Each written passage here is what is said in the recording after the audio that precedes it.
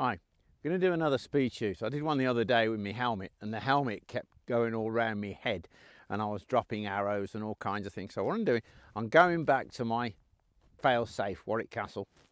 Sheaf of arrows, 24 arrows in my belt, my nice hat, my bowman's cap as I call it. And we're going to give it one minute shoot. There are no arrows in the target, so I think we'll go for the head and uh, we'll see how we go. So hopefully I got somebody who'll time me for a minute, tell me to go. So uh, let's do it from a standing start, shall I? Have one in my belt. I'm not ready. And we'll see if I can get over a dozen. I'd be well impressed, a man of my age. Right, so when I get the word go, I'll give it a go. Go.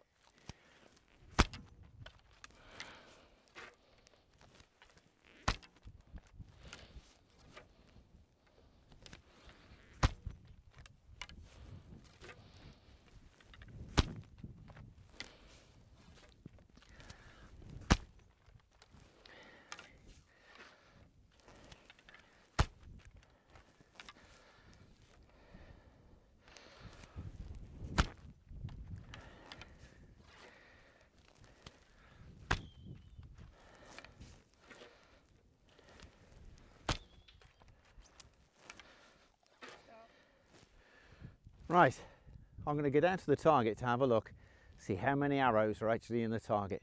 Right, so when you consider I was taking split second to aim, this wasn't just a wild shoot to see how many I could get off. I wanted to see how many I could release fairly accurately. So we've got 1, 2, 3, 4, 5, 6, 7, 8, 9, 10, 11, 12. So that's 13 arrows and I didn't push it. We've got three through the head and if you look around, we'd have got him a few other times. And of course, the famous men standing behind him. So a bit of fun, the speed shoot. And I can tell you, if you've got the enemy coming towards you, you're going to shoot fast, but you're going to shoot accurate, aren't you? That was your job.